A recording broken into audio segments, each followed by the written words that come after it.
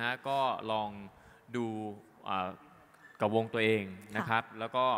ลองดูว่าเราได้อะไรนะครับจากอ่าการชมวงอื่นๆนะครับค่ะแล้วก็อาจจะเป็นขอย้ำอีกทีหนึ่งเรื่องเรื่ขอองงมารยาทในการรับชมครับค่ะผมรบกวนปิดเสียงโทรศัพท์หรือว่าไม่ส่งเสียงรบกวนนะคะ เพราะว่าจะทำให้น้องๆเสียสมาธินั่นเองค่ะ รวมไปถึงการลุกเข้าออกห้องน้ำนะคะ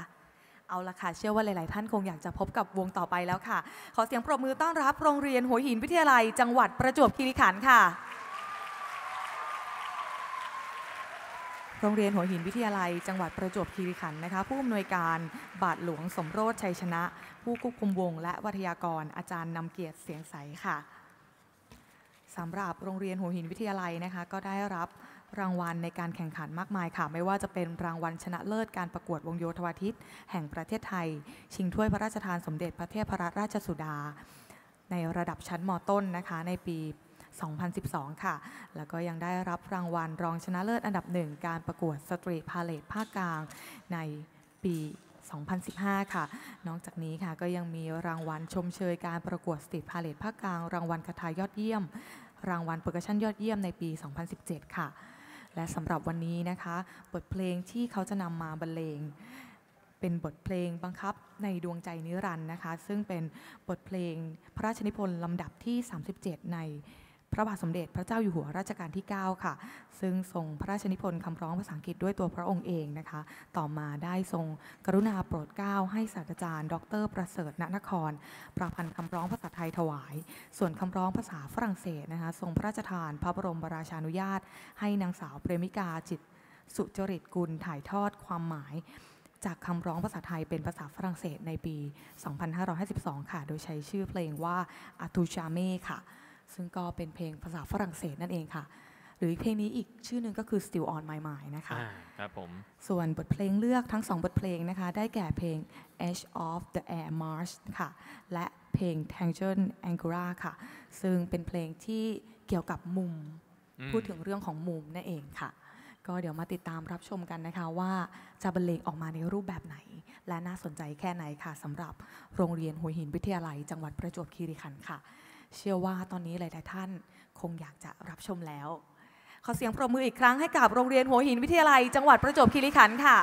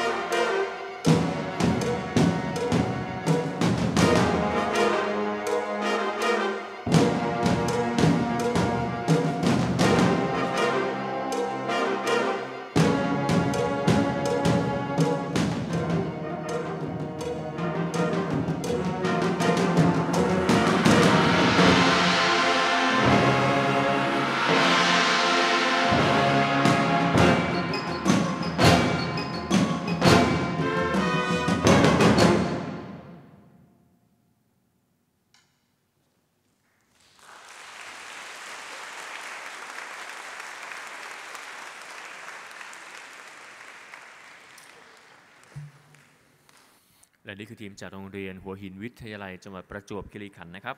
โดยปกติเราก็จะเห็นในรูปแบบของดนตรีสนามนะครับ ตอนนี้น้องๆก็เปลี่ยนรูปแบบมาเป็นคอนเสิร์ตแบนด์ก็จะเป็นวงสุดท้ายในภาคเช้านี้นะครับ แล้วก็หลังจากนี้ไป